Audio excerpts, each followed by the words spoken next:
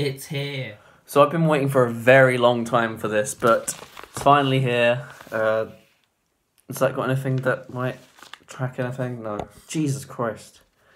Right, so if you were playing Save the World, Fortnite Save the World, uh, during Christmas, you'll know that there was a uh, promotion where if you beat the Storm King, you would get a pin. Um, it's now, what is it, April? And they've finally delivered on their promise.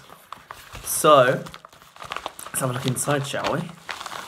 Try to get all of it out at once. Is that everything? Yeah, everything. So, we've got a piece of paper.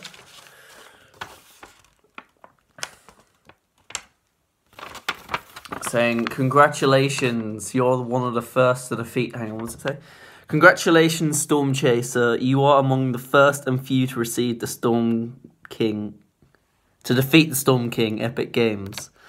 So there you go, there's the packing list. Uh, I don't know if that is like identifiable, probably is. Uh, but let's actually see the, the pin itself. There we go, look at that. All hail the King of Monsters. Let's open it up. From Epic Games themselves. This is an epic edition. Because this is truly epic. Look at that. So there you go. There is the uh, the pin which you get. Uh, can I take it off? I'll see if I can take it off. Uh, it looks like it's been a little bit bent. Which, uh, you know, isn't good. There isn't like a personalised like letter saying, oh, you're so cool. But uh, yeah, this is the pin in all its glory. I'll uh, quickly take it off just so you can see.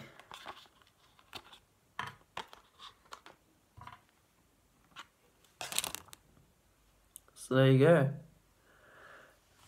There is the Storm King pin. It's very reflective. If we spin it around, you can see those are the two holes. So I'm just going to pop it on me right now. Whoops. I just dropped it. And hopefully I don't uh, puncture my, my lungs. It's kind of hard to do because this is a jumper, but there you go.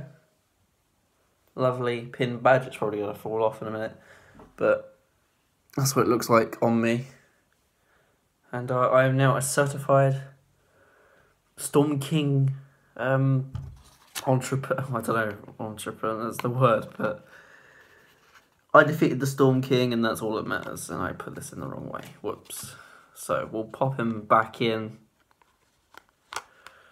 So yeah, um, if you wanted to know how you got this, basically you had to defeat the Storm King from I think it was December the 1st to the 31st. So yeah, that's pretty cool. So that's the uh, the Storm King pin. I'll just pop it here. There we go. Look at that. So thank you guys for watching, and I'll see you all next time.